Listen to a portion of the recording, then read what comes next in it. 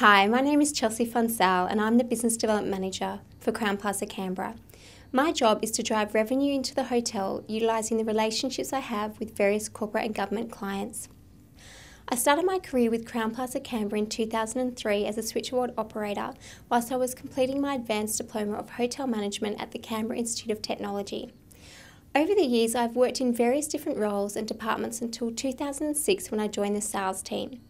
The business has given me many skills such as how to negotiate on a high level, present to an audience of over 100 people, problem solving on a day to day basis, management and development of staff, and most importantly, networking skills. Crowne Plaza Canberra is a four and a half star hotel located in the heart of Canberra Business District with 295 accommodation rooms, making it the largest hotel in Canberra. It also provides six meeting rooms, restaurant, bar, day spa, and health club, and is affiliated with the National Convention Centre and Parliament House Catering by IHG. For any inquiries, please contact the Crowne Plaza Canberra Hotel on 02 6247 8999.